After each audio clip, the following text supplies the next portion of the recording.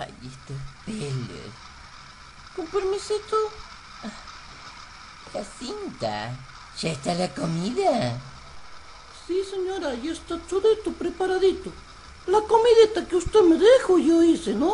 El sushi. Por supuesto. Vos sabés que a mí el sushi me encanta. ¿Están todos en la mesa?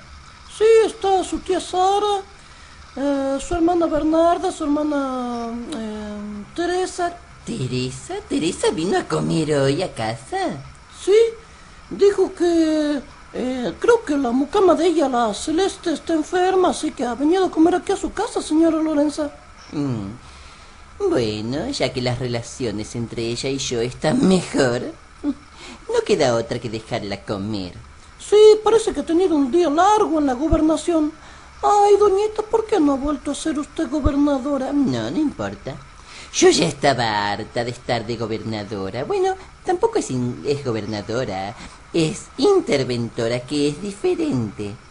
Claro, pero ¿cuál es la diferencia? Bueno, a veces un interventor está a cargo de una ciudad por un decreto de los, de los presidentes, querida, no porque la gente nos haya votado.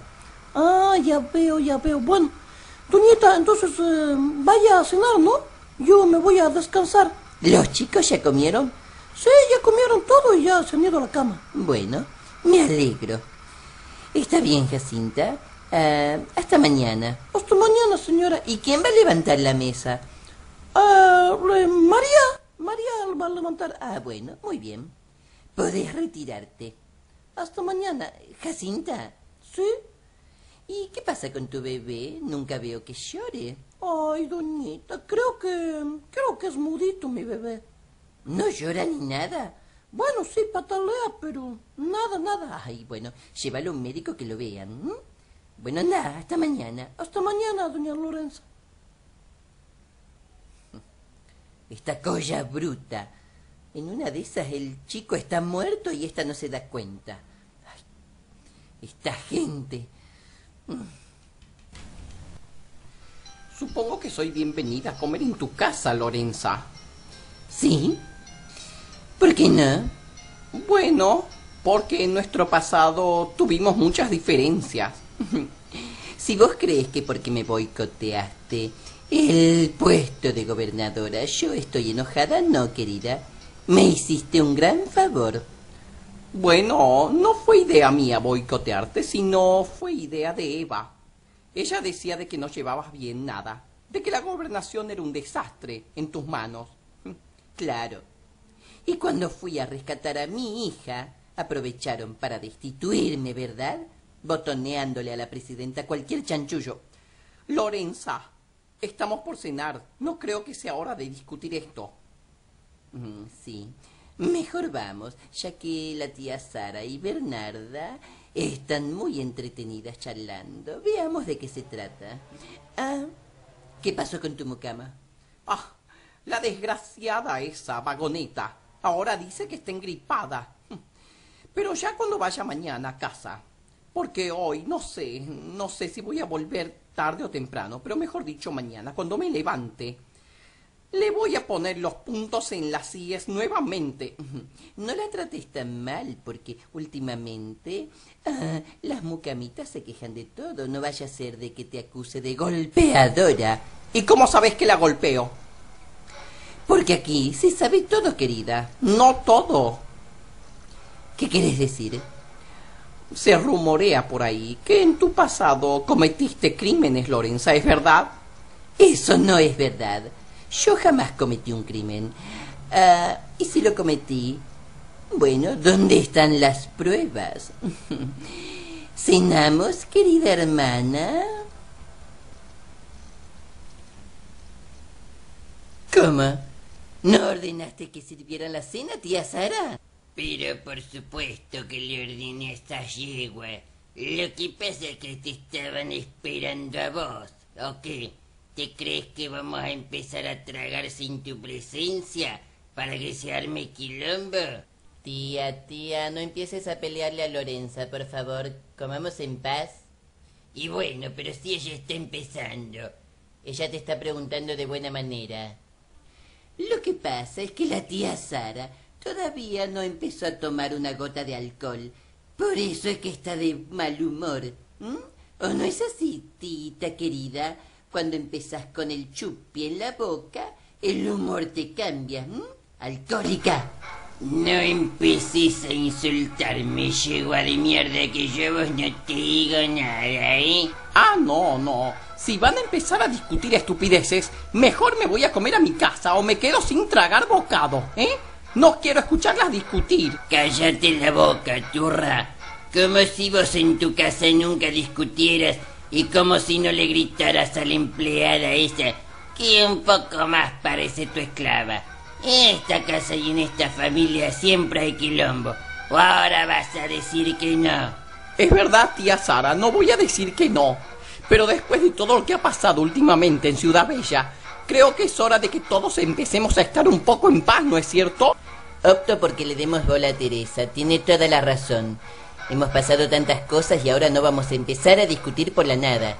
Tenemos que ser una familia, una familia unida. Ya que somos poderosas, bueno, seamos también poderosamente unidas. Seamos un ejemplo de familia. Ay, Bernarda. Ay, Teresa, qué lindas palabras. Ay, tía Sara. Qué hermoso, ¿no? Pero como una borracha como la tía Sara, es difícil ser una familia modelo. Y como una perra como vos también es difícil. Pero mira lo que haces, vieja desquiciada. Me tenés podrida. ¡Ay! ¡Ah! De mierda. Ay. Pero ven que es una maleducada. ¡Oh, Tía. es una yegua. Prefiero ser una yegua y no una vieja insoportable como vos. Borracha de mierda. Vas a empezar a respetarme porque yo soy la dueña de casa. Lorenza, por favor, no le hables así a la tía. ¿Y cómo querés que le hable? Bueno, no sé, pero mira lo que hiciste, le tiraste con el plato en la cara. Es lo que menos se merece, Teresa. Tía, yo sé que Lorenza no tiene razón, pero siempre empezás a provocarla y llegan a esto las dos. Ay, Dios mío, no se puede comer en paz ahora. Sos igual que tu Madre, no hables de mi madre que está muerta. Ya te lo dije mil veces. Tu madre era una violenta. Y muchas veces le pegó a mi madre también. ¿Sí? Mira vos, ¿y vos qué? ¿Eras una hijita buena? Vamos, tía, vos eras otra víbora y otra perra, que cuando tu marido se estaba muriendo no eras capaz de llevarle un vaso con agua. ¿Qué te crees que yo no me acuerdo de eso? No hablemos de mi marido. Estamos hablando de vos. Víbora perra. Bueno, ya basta, ustedes dos. No basta nada. Ella no me va a hacer callar a mí. Bueno, bueno, sobrina. La pasemos en paz. Mira, vino la Teresa a comer con nosotros. Entonces, tía, no me provoques como siempre. Ah, Ya esta silla se viene a caer. Y bueno, vos sola que tiras todo a la mierda. Deja de echarme la culpa. Levanta la silla. Pero levantar la voz que sos más joven. Yo no la he tirado. Ay, tía. Pero yo no la tiré. Bueno, yo no pienso hacerlo. Come de parada, vieja de mierda. Mirala cómo me trata. ¿No ves que es mala conmigo? Ay, tía, tía. ¿Qué? Bueno, bueno, ya basta. Tú también te pones a discutir. Tú sabes cómo es Lorenza. Y vos acomodate el collar que se te dio vuelta. Sí, ahora. Pero déjame que te levante la silla. A ver, córrete. Ay, Estas sillas todas pesadas del orto. tía, basta. ¿Por qué no te callas, tía? No quiero. Tía, hazle caso a Lorenza. Cállate un minuto. Vos levantame la silla de una buena vez. La puta que lo parió. Ahí tienes tu silla, tía. Vamos, siéntate. Y comamos en paz de una buena vez. Con todos los quilombos que tengo en la gobernación. Ahora venir a soportar estas situaciones. Pero por favor, pónganse las pilas. Mira, Teresa. Si vas a venir a mi casa a comer, mejor aguántate todo lo que escuches. Bueno, está bien. Pero contrólense un poco, aunque sea una sola vez en la vida. ¡Ay, Dios!